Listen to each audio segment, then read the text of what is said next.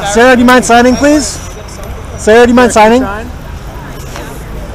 Sara, I was at the SAG event last night. You were hilarious. I can't wait to hear you. At the Can I get you up here, Sara?